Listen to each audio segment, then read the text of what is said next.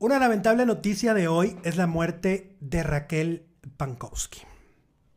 Eh, Raquel Pankowski, pues una actriz muy peculiar, una actriz con una personalidad muy, muy especial.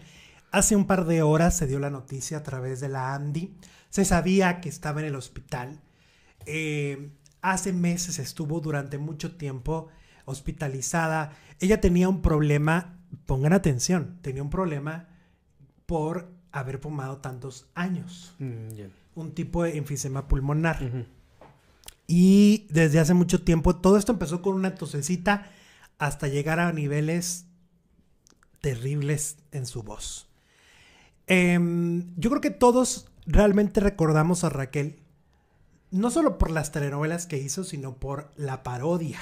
De Martita. ¿Tú la viste? Yo la vi en vivo en, el, en, un, en, un, en un teatro de la Ciudad de México y está maravillosa. Cuando imitaba a Martita a Según, ¿se acuerdan? Sí. Por allá en el sexenio del 2000 al 2006, ¿no?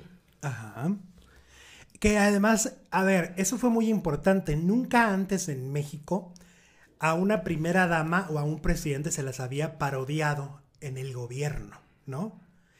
Eh, Raquel lo hizo y la primera dama no, no la pudo censurar porque la opinión pública amaba la parodia que hacía Raquel Pankowski. Pero aparte era el gobierno del cambio, ¿no? Claro. Imagínate.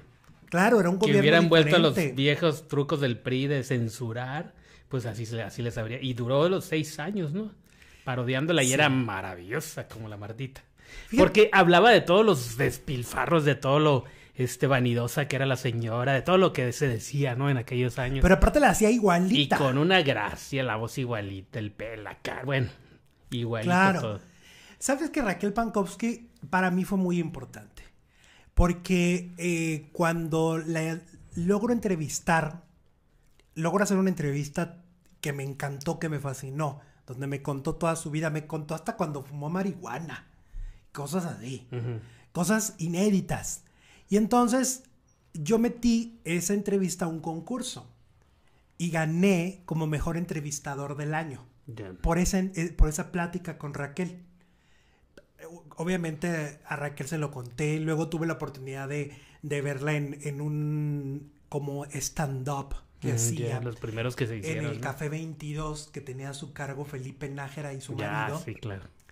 Y fui a verla y la vi- saludé en camerino y un encanto y una persona increíble. Por ahí tengo la foto y la voy a subir en el grupo de Facebook. Tengo una foto con ella y van a ver desde el abrazo que desde la foto van a ver el cariño que nos teníamos. Realmente te puedo decir que es de las pocas figuras que siento que sí me tenía un cariño y que cada que yo le hablaba era, claro Alejandro, a la hora que necesites, a la hora que quieras, ahí estoy. Y, eso, la verdad, yo nunca lo voy a olvidar porque además una persona tan honesta, tan sincera. Quise rescatar un poco de su historia para que entendamos que a veces la vida no es tan fácil para los actores. Y para Raquel Pankowski no fue fácil la vida de actriz. muy difícil. Para mí económicamente esta carrera ha sido terriblemente difícil, pero terriblemente difícil. Estuve mucho, la verdad es que la pasé muy mal, muy angustiada, sobre todo a la muerte de mi mamá, que me quedé con muchísimas deudas de su muerte y pues no tenía a quién recurrir y pues trabajo, pues de repente trabajaba y de repente no. Y o, por ejemplo tenía cinco capítulos en una telenovela y ya, para mí fue muy difícil. Realmente a mí se me arregló mi situación económica de alguna manera cuando firmé una exclusividad con Televisa. mi exclusividad es de las más bajitas. Pero aún así en ese momento la verdad es que lo agradezco con toda mi vida porque me salvó, me salvó. bebé. Yo cuando supe que me iban a, a dar una exclusividad no podía parar de llorar de la emoción y del gusto. Y bueno, lo primero que hice fue ir al súper. Hacía años que no iba al súper porque comía lo estrictamente necesario y ya. La verdad es que, por ejemplo, si iba a hacer una sopa de zanahorias, y me compraba una zanahoria y hacía la sopa, ¿no? O muchas sopas aguadas, que era lo barato, muchas verduras. Y sí, ya con exclusividad, aunque es muy chiquitita, pues por lo menos me permitía comer diario, que es importante y hay veces que no se puede, que cuesta de veras mucho trabajo. Y me permitía pagar el teléfono, que pues por ahí me llegaba el trabajo, ¿no? Y salir adelante, o sea, ya por lo menos tenía lo básico necesario cada mes. ¿Qué tal? Oye, ya se le notaba una tosecita, ¿no? Sí, ya en ese momento tenía problemas de salud. Ya tenía, empezaban, estaba hablando del 2007 que empezaban estos problemas de salud. Y uno pensaría que les pagan y les pagan re bien y van y se lo gastan en Las Vegas y no. Así es como la imagen que tenemos de los actores y pues Raquel Garza, Raquel Pankowski, perdón, está te dijo a ti en exclusiva que es todo lo contrario para ella en su caso. Esa es una de las tantas revelaciones. Años difíciles que pasaba Raquel, ¿eh? Pues sí, y además me costó muchísimo trabajo porque, mira, yo no puedo decir que, que me haya ido mal pero es que tampoco me fue bien. La verdad de las cosas es que, bueno, ahora pienso que vivir de lo que a uno le gusta, pues es el verdadero éxito en la vida. Pero mi carrera siempre fue para arriba y para abajo. O sea, éxito, éxito, mío, mío, mío, pues realmente nunca tuve. Mi entrada a la televisión, por ejemplo, fue con el primer que nos pasa. Yo hacía el personaje de Soledad.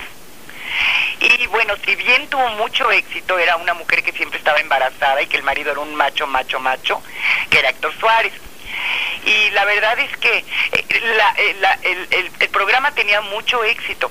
Quien hubiera entrado a hacer lo que yo hacía hubiera tenido el mismo éxito que yo, porque eh, el éxito era de Héctor Suárez.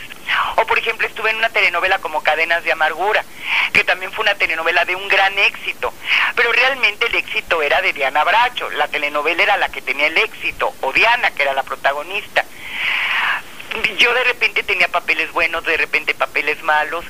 Nunca me faltó el trabajo, esa es la realidad. La verdad es que no viví de otra cosa más que de actuar. Pero eh, ya llegó un momento en que de verdad aquí entre nos no me gustaban nada los papeles que me daban. Y ya me, me decepcionaba mucho que cada vez que me hablaban para hacer un personaje, era un personaje que yo llegaba, lo leía y decía, bueno, pues, bueno, por lo menos es trabajo, ¿no? Y entonces me fui decepcionando porque yo como que tenía ganas de hacer algo más importante, como que tenía ganas de demostrar que yo sí podía. De hecho, toda mi carrera me la pasé soñando. Mis castillitos en el aire eran que me iban a dar una telenovela y el productor o el director me iba a ver y iba a decir, ay, qué buena actriz es, mira, vamos a darle más capítulos y mira qué buena es, ¿no? Y pues no, la verdad es que nunca me pasó. No pasaba. Ah, pues a eso hay que preguntarle a los productores y a los directores. Realidad yo creo que no cumplo con las características de belleza que tienen las estrellas de Televisa. Eso es muy importante porque finalmente la televisión es imagen. Y bueno, pues no, no, nunca me pasó. Siempre soñé con esa posibilidad porque, pero pues no, la verdad es que no, yo entraba a hacer lo que iba a hacer y se acababa cuando se tenía que acabar y ya. Fíjate cómo el pensamiento mágico, ¿no? Me van a descubrir, les va a encantar, me van a dar más, me voy a volver famosa.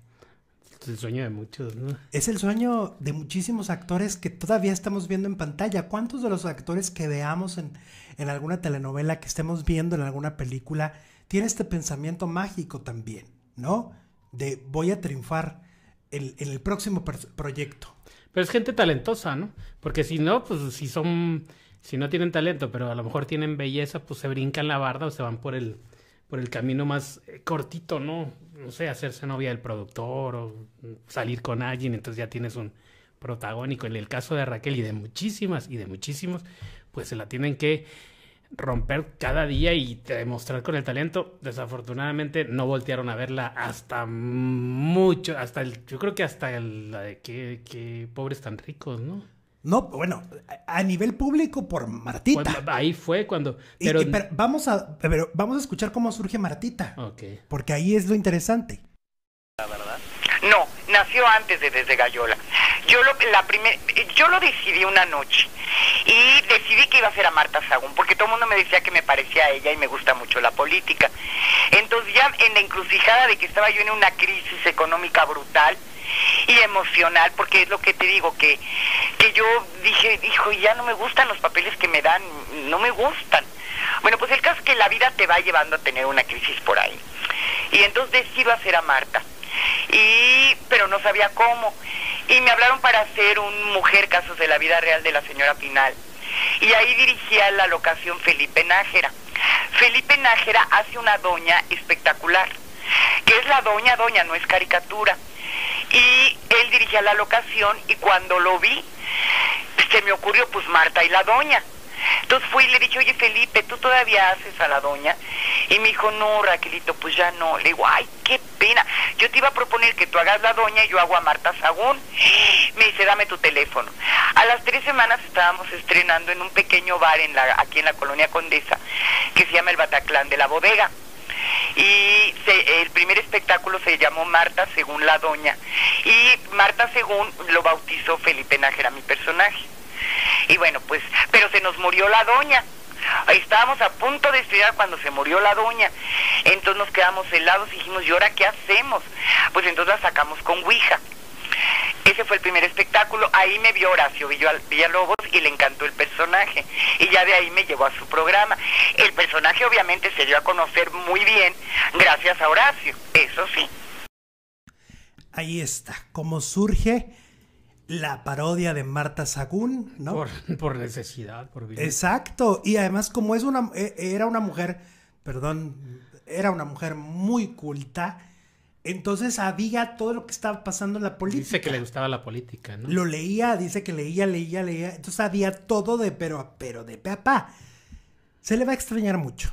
Se le va a extrañar a Raquel Pancos. Definitivamente, y bueno, pues se van los grandes, ¿no? Sí, Qué pérdidas tan fuertes hemos vivido en los últimos años, la verdad, ¿eh? Gente muy querida, gente muy querida en el espectáculo desde Don Vicente, pasando por Carmelita Salinas, ¿no? Raquel. Sí, la verdad. Aquí andan mis friends, mis auténticos incondicionales del producer. Muchas gracias por ese cariño. Mira, Kiko López nos mandó 50 estrellitas y nos manda Hola. una. Ya es que Kiko López siempre nos manda así información como de del pasado. Hola chicos, no sé si ya hablaron del programa del minuto que cambió mi destino de este sábado. habló Graciela Mauri de cómo obtuvo el papel en Mundo de Juguete. Y no sé si ella no sepa o no quiso decir la verdad sobre lo que pasó. Pimstein, desde que estaba en el concurso e iba ganando la otra niña, Angelines Bravo, este no la quería, le daba las peores eh, calificaciones cuando ella ganaba y le dan el papel, gana el papel, Pimpstein le habla a la mamá de la niña y le dijo que no, que la niña no lucía en cámara. La señora demandó, pero no pudo con el poder de Pimpstein y Televisa. Esta historia me suena, digo, ah, ya me la sabía, ¿no? De que sí, de que hubo como chanchullo, ¿no? Porque hicieron un concurso, creo que en siempre en domingo, ¿no? Sí. Para la niña que iba a estar en Mundo de Juguete, en los setentas. Entonces gana una niña, según nos dice este Kiko. Pero no, ah, la aprobaba el productor y finalmente la que fue la protagonista fue Graciela. Una cosa es lo que decía el público de Siempre en Domingo y Raúl Velasco y otra cosa lo que dijo el productor, le gustó más Graciela y adiós a la niña que ganó. Qué interesante. Interesante dato. ¿Tenemos más superchat o no? Tenemos muchos, este, mucho cariño, qué triste oírla ya cuando se fue, que en paz descanse, dice Enedira. Sí, siempre es impresionante oír a alguien que, pues, que ya se fue, ¿no? Sí, y sabes que eh, me acuerdo muy bien, Jesús, con ella fue muy especial esa entrevista de la que yo te, te estoy mencionando, porque me acuerdo que cuando empezamos a platicar, hicimos mucho clic, o sea, al aire se notó como de, como, como que nos hermanamos, porque los dos habíamos perdido a nuestra mamá muy jóvenes. Mm. Entonces ella me empieza a contar, es que mi mamá murió, creo que hasta la misma edad teníamos. Entonces cuando, ¡pum! Así hicimos clic y a partir de ahí la entrevista fue como una plática entre amigos. Entonces imagínense todo lo que no se supo ahí. Y todo lo que dicen, ¿no? Que no comía bien, que bueno, a lo mejor por eso estaba tan flaquita, ¿no? A mí me reveló que fue amante de algunos hombres en su momento porque no, porque no se autovaloraba, ¿no? No tenía el suficiente amor propio para recibir buenas parejas. Nunca se casó. Nunca mm. tuvo hijos. Este. Y, y, al final, pues sí tenía una vida solitaria. Solo sus amigos eran los que veían por ella. Un Rafael Inclán, por ejemplo. En esos últimos años que la pasó muy mal los pues, últimos años.